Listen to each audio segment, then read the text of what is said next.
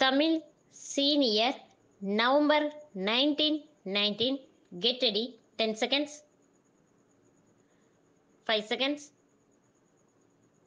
start பெரியோர்களே தமிழக மக்கள் நீண்ட நாட்களாக எதிர்பார்த்து கொண்டிருந்த நல்ல நாள் இன்று உதயமாகியிருக்கிறது. தாய்மொழியை போற்றி பாதுகாத்து வளர்ப்பதற்காக அறிஞர்கள் புலவர்களை கூட்டி சங்கம் வைத்து வாழ்ந்தவர்கள் தமிழ் மன்னர்கள். இதைப்போல மொழியையும் அதில் உருவாகும் இலக்கியங்களையும் போற்றுவதற்கு ஒரு அமைப்பை கண்ட நாகரீகம் உலகில் எங்கும் இல்லை என்றுதான் நான் நினைக்கிறேன். அப்படிப்பட்ட புகழ்பெற்ற தமிழ் நெஞ்சங்கள் தமிழை வளர்த்த சான்றோர்கள் பிறந்த மண்ணில் நாம் பிறந்து வாழ்கிறோம் என்பதே நமக்கு பெருமையாகும். வரலாறு காண முடியாத பழமையான மொழியாக இருப்பதால் இறைவனை தலைமையேற்று சங்க தமிழ் வளர்த்ததாக கூறினார்கள் நமது முன்னோர்கள். அவ்வாறு இலக்கிய சிறப்பும் வரலாற்று பெருமையும் கொண்டது நமது தமிழ் மொழி. ஆயிரக்கணக்கான ஆண்டுகளுக்கு முன்பு பாண்டிய மன்னர்கள் நிறுவிய தமிழ் சங்கம் இடையிடையே மறைந்தும் தளர்ந்தும் பிறகு தலைத்தும் வாழ்ந்து வருகிறது. மொழி வளமோ கலை செல்வமோ சிறக்க வேண்டுமானால் அந்த பொறுப்பை அரசுதான் ஏற்றுக்கொள்ள வேண்டும். தனி அமைப்புகள் என்னதான் முயன்றாலும் எதிர்பார்க்கின்ற வளர்ச்சியை நாம் காண முடியாது. இன்றைக்கு தமிழ்நாட்டில் தமிழ் சங்கம் என்ற பெயரில் சில அமைப்புகள் நடைபெற்று வந்தாலும் அவையெல்லாம் வளர்ந்து வரும் உலக நாகரிகத்துக்கு ஈடு கொடுக்கும் வகையில் நமது மொழியை வளப்படுத்துமா என்பது எனது சந்தேகம். அதனால்தான் நீண்ட நாட்களாக தமிழுக்காக ஒரு பெரும் அமைப்பை அரசாங்கம் உருவாக்க வேண்டுமென்று தமிழ் அறிஞர்கள் கேட்டு வந்தார்கள். அவர்களுடைய வேண்டுகோளை மட்டுமல்ல தமிழக மக்களின் ஆசையை நிறைவேற்றும் வகையில் தமிழக அரசு இன்றைக்கு புதிய முயற்சிக்கு அடிக்கல் நாட்டி இருக்கிறது. அதன் விளைவுதான் தமிழில் பல்கலைக்கழகம் தோன்றுவதாகும். அரசாங்கம் தமிழுக்காக ஒரு பல்கலைக்கழகத்தை உருவாக்குகின்ற நல்ல நாள் இது.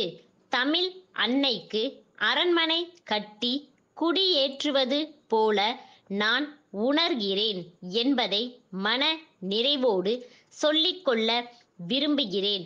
புலவர்கள் கூடி மொழி வளர்க்கிறார்கள் என்றால் இலக்கிய வளர்ச்சி ஒன்றைத்தான் அது குறிக்கும். பல்துறை அறிஞர்கள் சேர்ந்து மொழி வளர்ச்சியில் ஈடுபடும் போது தமிழ் மொழியின் வளம் மக்களின் வாழ்க்கை மேம்பாட்டிற்காக பயன்படும் என்பதை நாம் உணர வேண்டும். அத்தகைய பணியில் பல்கலைக்கழகம் தன்னை அர்ப்பணித்து கொள்கிறது என்பதை அறிந்து மகிழ்ச்சி அடைகிறேன்.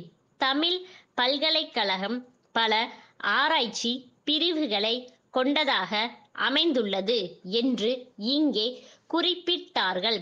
சுருக்கமாக சொல்ல வேண்டுமானால் தமிழ் பண்பாட்டு மையமாக இது விளங்கும் என்று நம்புகிறேன். அறிவியல் தமிழ் என்றே ஒரு ஆராய்ச்சி பகுதி செயல்பட போவதாக அறிவித்தார்கள். இது மிகவும் பாராட்ட வேண்டிய ஒன்றாகும். மேல் நாடுகள் நம்மை விட ஐம்பது ஆண்டுகள் முன்னேறிய நிலையில் இருக்கின்றன. அந்த இடைவெளியை குறைக்க வேண்டுமானால் எதிர்கால சமுதாயம் தமிழிலே அறிவியலை பயில நாம் உதவி செய்ய வேண்டும். அதற்கு இந்த பல்கலைக்கழகம் துணை நிற்கும் என்று நம்புகிறேன்.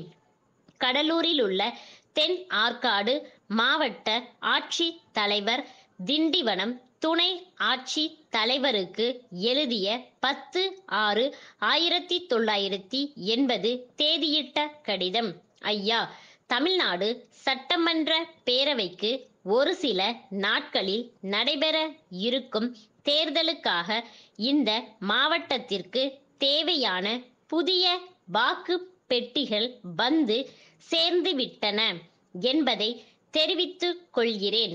அவற்றை தொகுதி வாரியாக பிரித்து அனுப்பும் பணி இன்னும் இரண்டு தினங்களில் முடிவடைய வேண்டும். ஆகவே தாங்கள் தேர்தல் அதிகாரியாக பொறுப்பேற்றுள்ள தொகுதியிலுள்ள வாக்கு சாவடிகளுக்கு சென்று சேர வேண்டிய வாக்கு பெட்டிகளை இங்கிருந்து எடுத்து செல்ல ஏற்பாடு செய்யும்படி கேட்டுக்கொள்கிறேன். தங்கள் கட்டுப்பாட்டில் பணிபுரியும் துணை வட்ட ஆட்சியர்களில் ஒருவரையோ அல்லது பொறுப்பான அலுவலர்களில் ஒருவரையோ அனுப்பி இந்த அலுவலகத்தின் தேர்தல் பிரிவிலிருந்து அவற்றை பெற்றுக்கொள்ளலாம். வாக்கு பதிவு பணிக்கு தேவைப்படும் பல்வேறு படிவங்கள் மற்றும் முத்திரையிடும் அரக்கு நூல் முதலிய பொருட்களை அதே சமயத்தில் எடுத்து செல்லலாம். பெட்டிகள் பொருள்கள் ஆகியவை கிடைக்க பெற்றமைக்கான ஒப்புதல் கடிதத்தை அனுப்ப கேட்டுக்கொள்கிறேன். தங்கள் நம்பிக்கையுள்ள ஸ்டாப்.